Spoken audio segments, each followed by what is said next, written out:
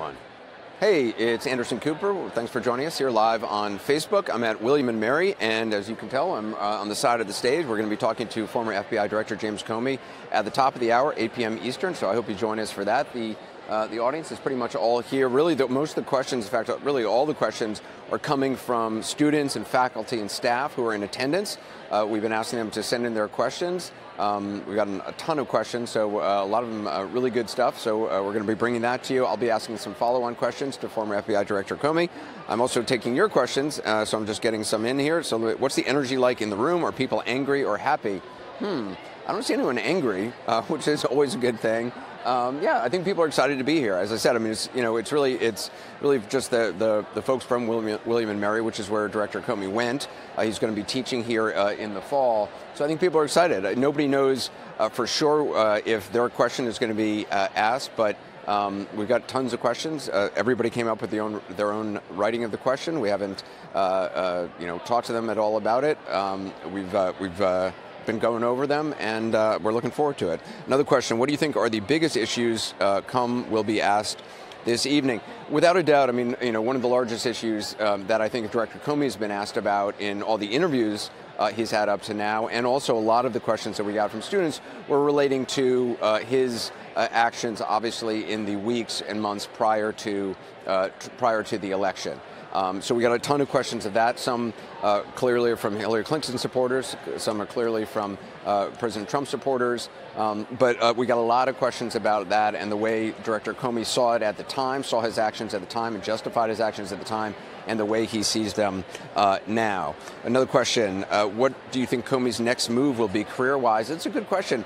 You know, I think he's going to be like on this book tour for quite some time, and they're selling a huge amount of books.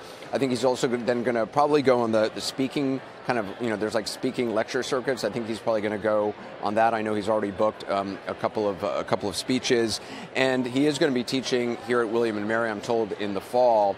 Uh, he's been asked a lot if he wants to enter the world of uh, politics, if he would actually run for political office. He said no in the past, although he seemed to indicate maybe his wife wants him to. Uh, so we'll see if a, a question of that uh, gets asked tonight. Um, but he, you know, he obviously has uh, a lot of options. He also got a huge advance for this book. The book, I think, so far has sold some 600,000 copies. They're printing uh, even more. So um, I think he's going to be kind of on the road uh, talking about this book for quite some time. Another question: What do students uh, make of him? I think you know it's really divided. I think um, it's you know we've gotten reactions kind of from uh, all you know all different points of view. Um, I think you know even the students who may you know, and I think it's something we've seen in a lot of his interactions, Director Comey's interactions since this book has come out. I mean, there's people on the left, there's people on the right who, for, for uh, you know, different reasons, uh, think what he did was inappropriate. There are obviously uh, people who uh, support him, and I think we'll, we'll hear that diversity tonight. Facebook viewers joking, is Comey the tallest person you've ever interviewed? Probably, maybe so. Uh, the tallest non basketball playing person I've ever interviewed. I, I actually, I don't even think I've interviewed I haven't interviewed many basketball players. So yeah, Comey is six eight, and um, it's actually been one of the difficulties for tonight, just in terms of sort of how the uh, the staging of this is going to work. Um, uh, I'm five. Um, yeah, I'm five eight. He's six eight. Um, so yeah, it's it's going to be interesting, and uh, yeah, we'll see. We'll see what happens. Um, I have to practice like looking up really uh, really high.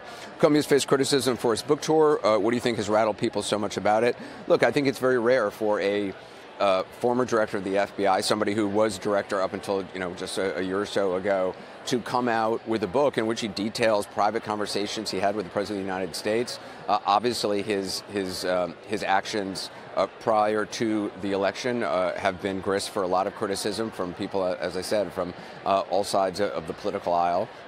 Um, and he's been uh, not only that, there's the issue of the memos that he wrote uh, after uh, interactions he had with President Trump that raised all sorts of questions. You also have the President of the United States calling him a liar, saying he should be jailed, which is, you know, it may seem normal now uh, given all the, the, the, tweets and stuff we hear from President Trump. But that's an extraordinary thing. You have a sitting president of the United States saying that the former FBI director uh, should be jailed.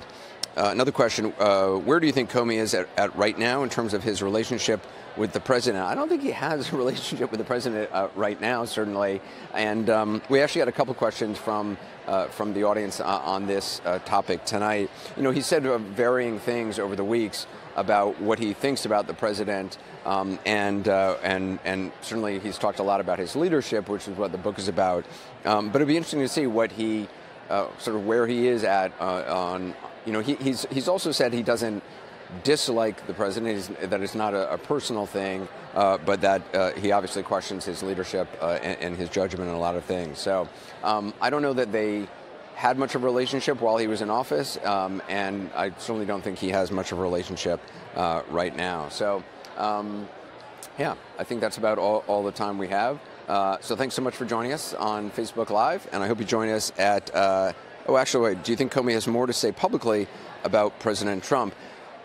We'll see tonight. You know, it's interesting. He's uh, he's only done one interview that I know about in front of an audience. He did it with David Remnick from the New Yorker uh, the other day, and it's a very different dynamic when you actually have an audience. And uh, it was interesting to read the transcript of that because his answers were kind of longer, and there's much more interaction with the audience. So I think tonight is going to be kind of uh, very different than what we've seen uh, in some sit-down interviews. He's tended to have very short answers. Um, I, I'm, I'm curious to see how he is with this audience, how he engages with them. Uh, you know, it's a very different thing uh, when you have a reporter asking questions than when you have students standing up uh, asking questions directly. So, all right, that's all the time we have. Thanks very much for joining us. I'll see you at 8.